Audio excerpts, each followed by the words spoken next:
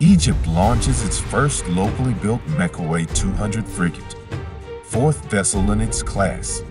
Egypt has achieved a milestone in its naval modernization program by launching its first locally built MEKO 200 frigate, the fourth of its class, at the Alexandria shipyard on December 4, 2023.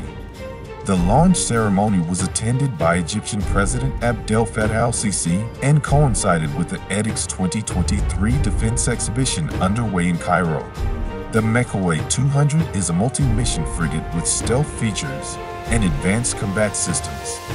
It is 121 meters long and displaces 3,700 tons with a top speed of 29 knots.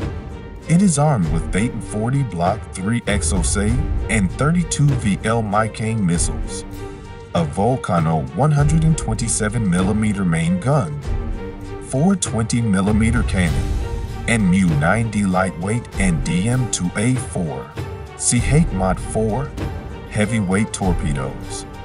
It is also equipped with Thales Scorpion 2 electronic warfare system, NS-110-4D active electronically scanned array, AESA radar, Alt-SAGE communication electronic support measures slash communications intelligence system, and Mirador Mk2 electro-optical system. The MEKO 200 frigates will enhance the Egyptian Navy's capabilities and presence in the Mediterranean and the Red Sea, as well as support its role in securing the Suez Canal and protecting its maritime interests.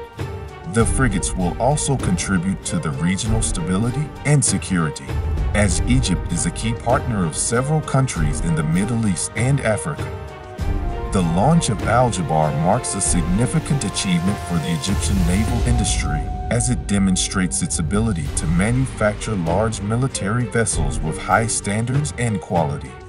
It also reflects the strong cooperation and partnership between Egypt and Germany in the field of defense and technology.